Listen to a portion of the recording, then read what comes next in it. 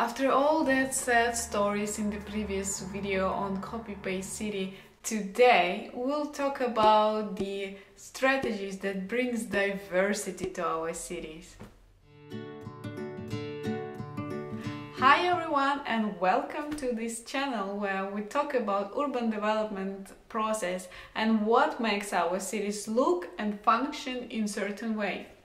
This is the third uh, video on the housing topic and in the previous one we spoke about the huge homogeneous housing developments. If you haven't seen that one, I will add the link in the description below. And by the way, last time I forgot to mention one more reason which I will add in the end of this video like a bonus. And today as I promised you, we will speak about the good and positive examples of big housing development. To make our journey more consistent, uh, we will follow the same checkpoints as in the previous video, so you will have kind of a framework to compare these positive examples and the failures. So, we will start again with the question, who owns the land? And you already know that the private and public owners have different drivers which influence the program composition. However, in some countries they have tools that let the uh, municipality to influence the decisions of the owners. For example, in Netherlands, if developer wants to buy a land, he needs to participate in auction and of course set some price bet. But he should support it with the uh, project of vision of what he wants to do with this plot. So municipality actually has a voice on what kind of projects they want to have in the area, even though they don't own this land. That's crazy, no? So as a result, not always the highest bet win. The second option you can find in the toolbox of land value capture. In Latin and Northern Americas, they separated the right to the plot and the right to build something on it. And you know that with the great power, aka rights, comes great responsibilities. Well, you can find kind of the traces of this approach in the famous Oosterwold project of MVRDV. But in other cases, local authorities went even further and created kind of a boundaries and within them the owners could exchange or even trade these development rights and responsibilities, which on one hand can secure the social needs and diversity in the area and on another hand it helps the owners to be more flexible and adapt to the market and their own needs. This is actually an interesting topic and I think I will add more videos on it but meanwhile you can check papers of Jacob Harvey. Another question is who makes the decision? I've just told you two options on how the local authorities can be part of the decision-making process in the very early stages of the project. But you can also invite them to the whole process. Well, usually the only stakeholders who are part of the design process are the developers and architects or designers.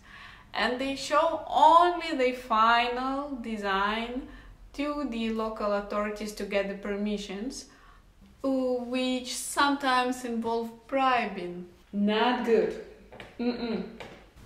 But I've been in part of the project where we, if I'm not mistaken, every two weeks had the project team meetings. And the core of this project team consisted of representatives from developers, designers, municipality together with local experts.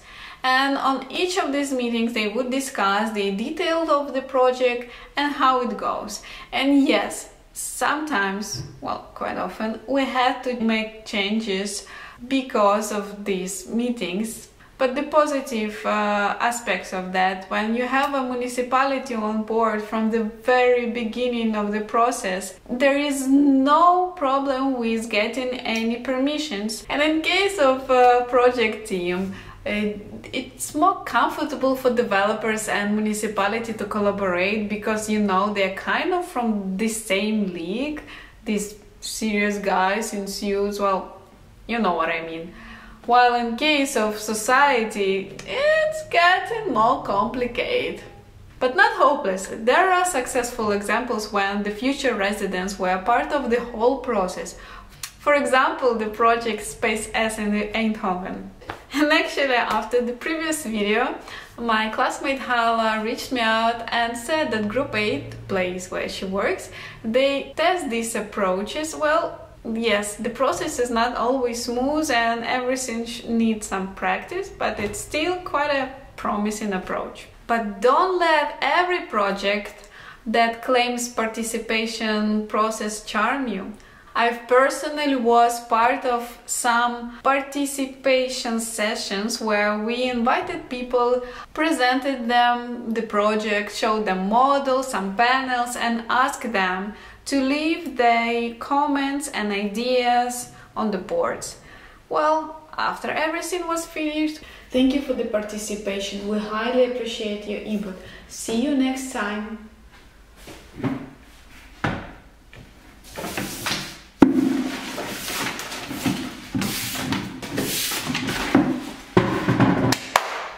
Would you call this a participation? I bet no. Actually, participation is one of the main points of my interest, so you will hear about it more in the coming videos. Participation is a tool for so-called people-led housing, which international organizations use for their projects in Asia and Latin America. In academic world, you will find it as a collaborative housing and the countries which just rocketed um, Sweden, Denmark, Germany, and there you can find them not only as the uh, solutions for the low income groups but also for the middle class. Once again, it's a huge and interesting topic by itself and I will definitely make some more videos on it. The next checkpoint is to get diverse design teams for the big plot. Look at the uh, old cities. We all love to travel and enjoy their diversity. Tourists wander around and stare because there are so many details, colors, decisions, shapes, materials to check, and your eye never tired. There are so many layers to unfold you can spend hours and hours on the terrace and just staring and your eye will curiously wandering around. Have you ever experienced that? Well, he'd like it so. I remember the first time I went travel with my parents. I think I was in a second grade of my architecture school and I was trying to catch every single detail and taking photos like thousands of them. And in the last day in Vienna, my mom said like, oh, look at this nice window. My answer was like, I'm sick of this architecture already. I don't know why I'm sharing this, but fine. Going back to diverse cities. I'm sure you know that uh, not a single genius or even team would be able to make something like this. The thing is that the old cities, they consisted of the tiny plots with diverse owners who would hire various architects to do the designs and that's why our old city is such a patchwork. Look at the famous super blocks in Barcelona. The area has quite a rigid grid, but these cells they infill of a patchwork of various buildings. But why do they fit to each other? Well, there are some simple rules like uh, red lines, it's a line where your facade should be, the height limits, um, and also back then the fashion and the styles didn't change so often as nowadays and there was not such a huge supply of materials and techniques. And that's why the uh, part of the cities or streets which were developed in the more or less the same period they quite harmonized. And maybe some buildings which were added in other periods they just look like a cherry on the top and which makes it more kind of interesting and memorizable. Nowadays, some countries still use this approach. When OMA did Feyenoord City, it's a huge master plan in Rotterdam, the local municipality uh, allowed them to develop further only few buildings because they said we don't need an OMA city here. And it's not like they don't trust the talent or capability. The same story happened with the Nieuw-Zuid in Antwerpen, the Funenpark in Amsterdam, the Pier in Rotterdam. One of my friends said that um, this approach can make our cities look like Shanghai, in the bad sense of it. Well, I've never been in Shanghai, so I can't judge if it's good or not. But I know that some countries use build quality plans uh, which is kind of a guideline that goes after the master plan stage. It's a book where you find the rules about preferred materials, details, uh, shapes, approaches, uh, and what architects should avoid in this area. It's a bit tricky moment because sometimes it's just one person who decide that this balcony is good and this one is simply not good without much explanation why. And then it's almost a local law for the architects to obey and sometimes it doesn't matter how innovative your solution is if it doesn't fit to this book the beauty commission wouldn't allow it. I remember discussing it with my friend from another office and they were struggling with such an unjustified rule for the size and shape of balconies. Yes, Buildable quality plan can help to harmonize the various developments, but at the same time, it can prevent the innovations and creativity. And finally, the tool that Alejandro Aravena, the winner of the Pritzker's Architecture Prize in 2016, um, used to for the uh, social housing. What they did is just simply designing the half of the house with the room for extension. And they then copy paste the uh, solutions. But fact that they had this half of the house and another half was the room for the uh, future owners to expand in the way they want in this way, they gave a possibility for the future residents to expand and adjust their homes. Of course, it's not as nitty gritty as architects would love to see when they control every single detail. Yeah, we've discussed this uh, control obsess in the first video. But it makes it possible for these people to stay in a good location and have opportunity for the bigger houses which makes it more human, don't you think so? It looks like I promised you already quite a lot of topics to cover in the future videos, but um, if you have some preferred ones, please let me know in the comments.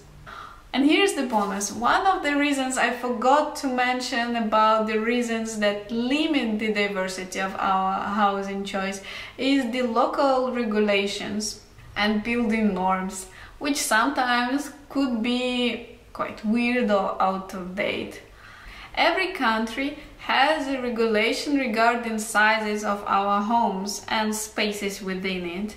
And if you dig into the comparison or even justification, sometimes it's getting quite funny. My friend Oksana did a research and exhibition on this topic and she compared living rooms regulations in Sweden, Netherlands and Belgium and surprisingly they are quite different.